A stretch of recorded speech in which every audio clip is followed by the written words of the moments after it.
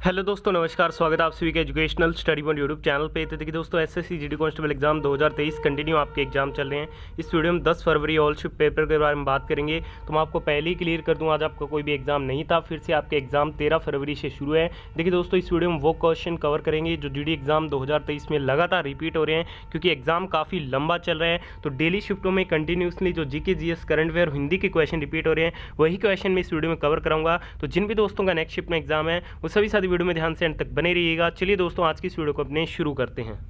तो चलिए दोस्तों, वीडियो को शुरू करते हैं। तो पहला क्वेश्चन आपसे पूछा गया कि वर्ष 2015 में फीफा अंडर 17 वर्ल्ड कप का आयोजन कहाँ हुआ था? तो वर्ष 2015 में फीफा अंडर 17 वर्ल्ड कप का जो आयोजन है, वो चिली में किया गया था, ठीक है? और इसमें जो विजेता देश बना था, वो बना था नाइजीरिया, ठीक है? तो ये भी आप नेक्स्ट शिफ्ट के लिए ज़रूर कवर कीजिएगा। अगला क्वेश्चन आपसे पूछा गया कि मुक्केबाजी का खेल किस प्रकार के मैदान पर खेला जाता है। देखिए दोस्तों, जो मुक्केबाजी का खेल है, ये बॉक्सिंग रिंग में खेला जाता है।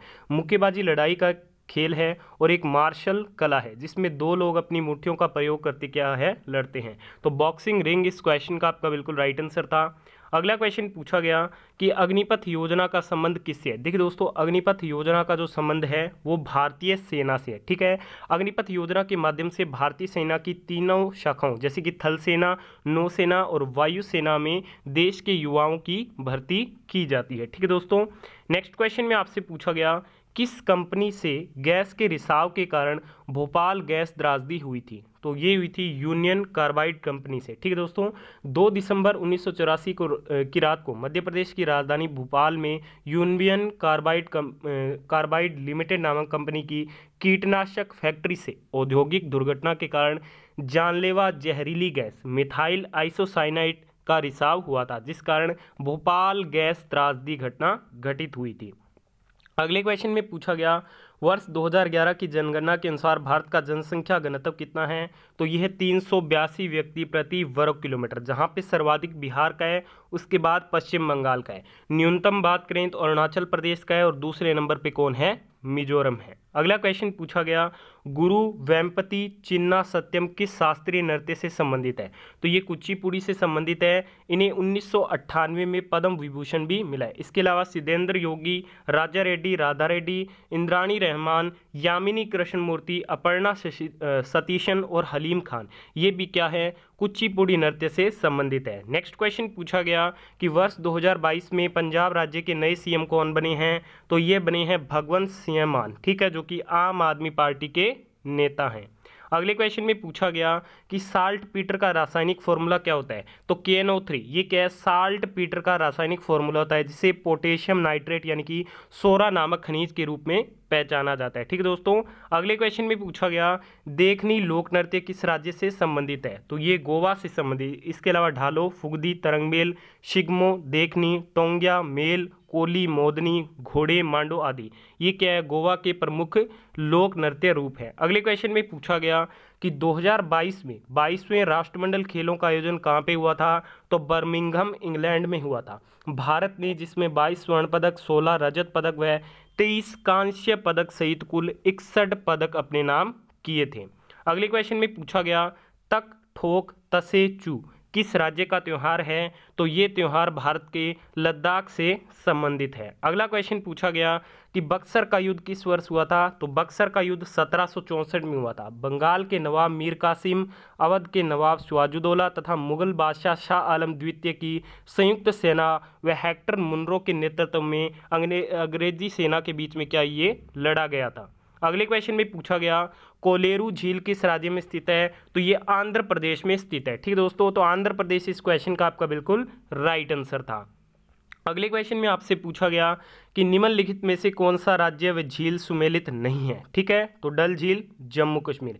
देखिए दोस्तों, वुलर झील जम्मू कश्मीर में है और ये भारत की सबसे बड़ी मीठे पानी की झील है। बैरीनाग झील जम्मू कश्मीर में है, मानस बल झील जम्मू कश्मीर में रासमंद झील राजस्थान में है, पिछोला झील राजस्थान में है, सांबर झील राजस्थान में है और सात ताल झील कहाँ पे है?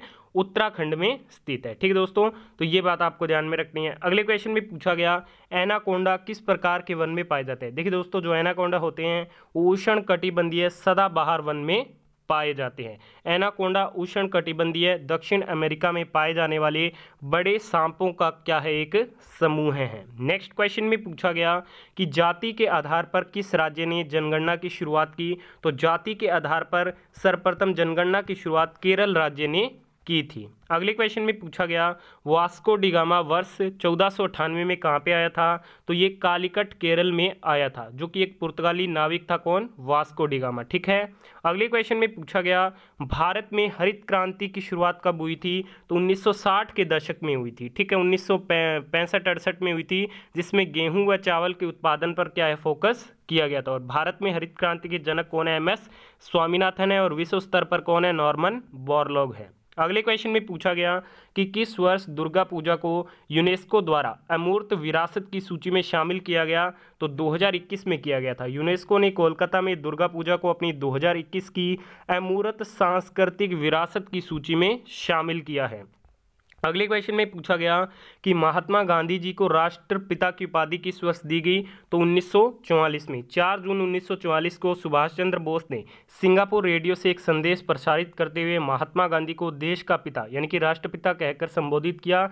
बाद में भारत सरकार ने भी इस नाम को क्या है? मान्यता दे दी। अगले क्वेश्चन में पूछा गया किस राज्य की सरकार ने भारत के पहले जीन बैंक की शुरुआत की? तो भारत के पहले जीन बैंक की शुरुआत महाराष्ट्र ने की। महाराष्ट्र कैबिनेट ने भारत में अपनी तरह की पहली परियोजना महाराष्ट्र जीन बैंक को मंजूरी दी है। नेक्स्ट क्वेश्चन में पूछा गया, टी बाला सरस्वती का संबंध किस शास्त्रीय नृत्य से है? भरतनाट्यम से। मल्लिका साराभाई, लक्ष्मी विश्वनाथन, रुक्मणी देवी अरुंडेल, सोनल मानसिंह, यामिनी कृष्णमूर्ति, प्रतिभा प्रहलाद मरनालिनी साराभाई व पद्म सुब्रमण्यम बी. हेरमनाथन, मीनाक्षी श्रीनिवासन और टी. बाला सरस्वती। ये सभी भरतनाट्यम से संबंधित हैं। अगले क्वेश्चन में पूछा गया कि वर्ष 2022 में यूपीएससी के अध्यक्ष पद पर किसे नियुक्त किया गया? डॉक्टर मनोज सोनी को ठीक है दोस्तों यूपीएससी के जो सदस्य होते हैं, ठीक है, वो प्रत्येक छः वर्ष का उनका कार्यकाल होता है या फिर पैंसठ वर्ष, जो भी इनमें से पहलन पहले पूर्ण हो जाए, उन तक इनका कार्यकाल बना रहता है। अगले क्वेश्चन में पूछा गया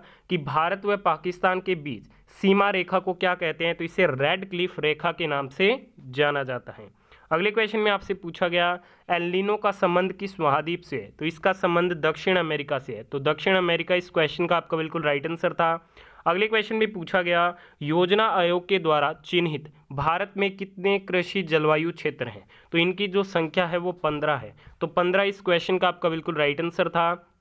नेक्स्ट क्वेश्चन में पूछा गया, टाइटेनियम का परमाणु भार कितना है? तो 47.86 है। और परमाणु क्रमांक कितना है? तो परमाणु क्रमांक है 22 अगले क्वेश्चन में पूछा गया कि निम्न में से कौन बिलीडियर्स का खिलाड़ी है? तो पंकज अडवाणी आपका राइट आंसर था। गीत सेठी, पंकज अडवाणी आदित्य मेहता, सौरव कोठारी, चित्रा मैगमीराज। ये क्या है? बिलियर्ड्स के खिलाड़ी हैं। अगले क्वेश्चन में आपसे पूछा गया कि शेरशाह सूर्य ने दिल्ली पर कब शासन किया? तो 1540 से 45 तक, ठीक है? तो ये बात आपको ध्यान में रखनी है।